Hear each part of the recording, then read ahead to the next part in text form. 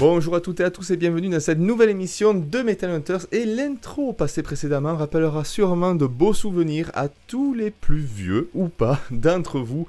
New Obscurantis Order d'Anorexia Nervosa sorti en 2001 chez Osmos Record, un label français qui est très bon et il faudra d'ailleurs que je passe commande pour acheter quelques Melekest et quelques Impel Nazaren. Donc c'est une chronique que j'ai décidé de faire sur un coup de tête, hein, voilà, entre deux uploads de, de vidéos parce que les copyrights de YouTube me les ont euh, bloqué. Euh, le planning de Metal Hunter c'est assez axé, un peu comme d'habitude, sur le power et sur le prog. Je me suis dit qu'un peu de violence, ça pourrait vous faire du bien parce que je sais que vous aimez ça, vous, la violence.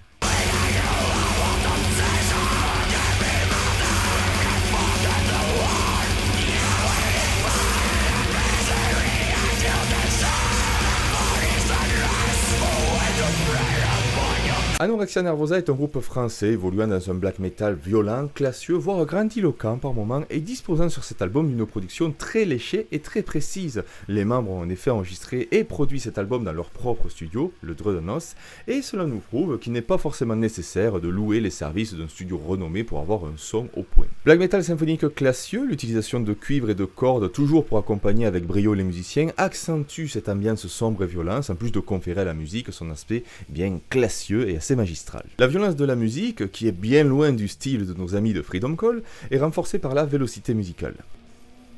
En effet, la musique est très rapide. Les riffs, la batterie, les incursions éclairs des éléments symphoniques dont nous avons parlé auparavant, mais aussi le débit de Redmar, tout est là pour renforcer la vélocité musicale. Et rien de mieux que de vous proposer un extrait.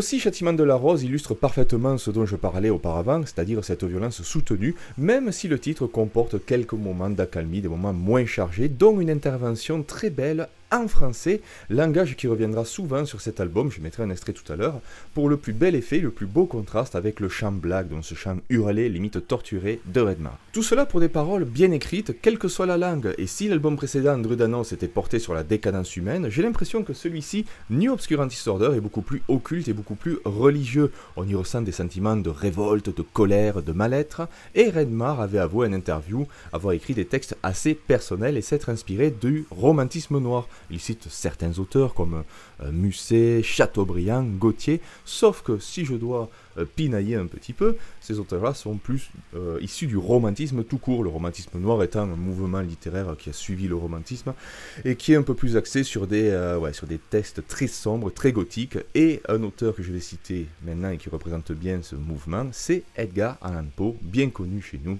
les métalleux. Les métalleux. Et avant l'extrait pour vous montrer que le chant français est une réussite, je ne peux faire l'impasse sur la pochette, pochette que je trouve magnifique, tout aussi magnifique que malsaine.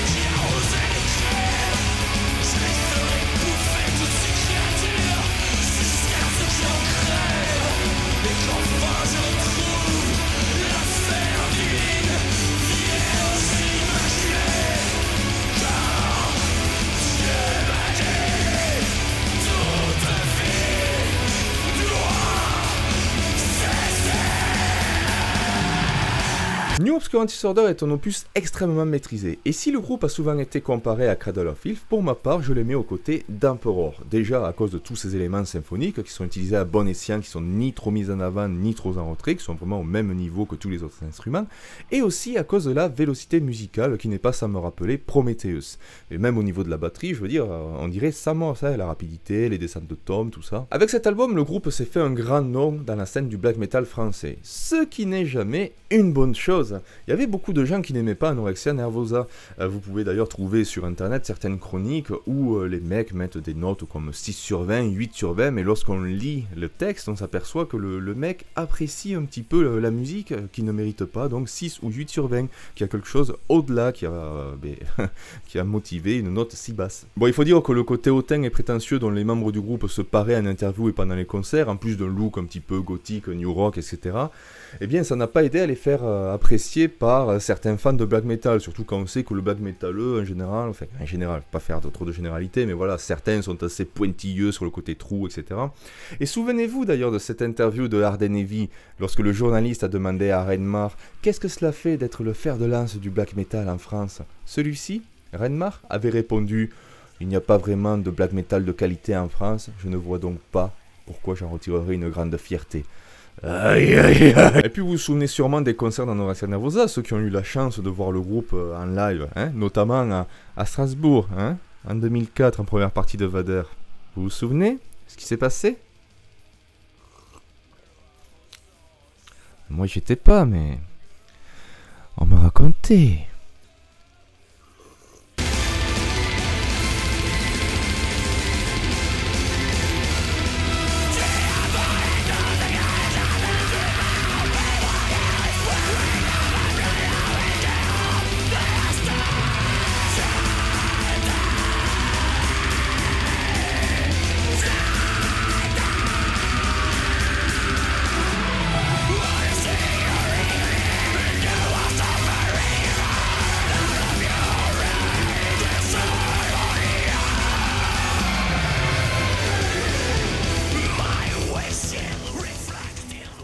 Voilà, j'espère que vous avez apprécié cette vidéo, que vous avez apprécié l'album que je vous ai présenté et que je vais arriver à faire une chronique à moins de 15 minutes. Alors que dire, si vous avez apprécié euh, New Obscurity Disorder, je vous conseille tous les albums d'Anoracia Nervosa. Exile est un peu différent, c'est le premier, il n'y avait pas Redmar, au chant ni à la composition. C'est vraiment Renmar qui a apporté ce plus et ce gage de qualité à Anorexia Nervosa pour moi. Vous pouvez écouter Redemption Process qui est un excellent album. C'est le dernier album qu'Anorexia Nervosa a sorti. Après cela, Redmar a quitté le navire et le groupe est en stand-by pour le moment. Et d'ailleurs, voici une question que je pourrais vous, euh, proposer. Euh, si jamais Anorexia, non, euh, si jamais Anorexia Nervosa reprend et ce sans Redmar, est-ce que cela sera toujours Anorexia Nervosa? Moi, je pense pas. Euh, c'est tout ce que j'avais à vous dire pour aujourd'hui. Euh, on va repartir avec des chroniques, peut-être un podcast plus tard. On verra bien. Il faut que je trouve des invités. Qui c'est qui veut venir au podcast? Allez Benga benga ça, ça, fait bon aux oreilles ça. Sur ce, portez-vous bien jusqu'à la prochaine chronique qui va arriver assez vite, je vous rassure. Et d'ici là, stay metal